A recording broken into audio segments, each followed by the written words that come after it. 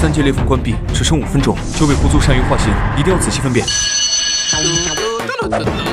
干嘛呀？你们哪个班的？老师去哪儿啊？下课了呀！你没听见下课铃吗？世界上怎么可能有不偷糖的老师？那个学生很奇怪，明明在看书，书却是倒着的，他一定是……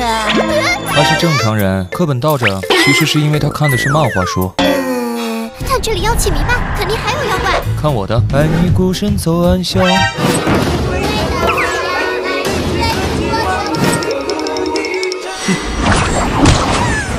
现在的小学生就没有不会唱《孤勇者》的。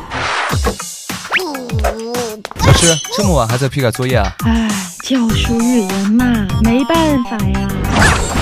他们不都在批改作业吗？其他老师批改的都是家庭作业，而他批改的是暑假作业。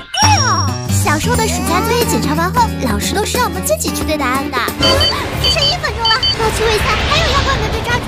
最后一只大妖的位置我已经锁定了，豆豆，我们走。你为什么？不是白泽。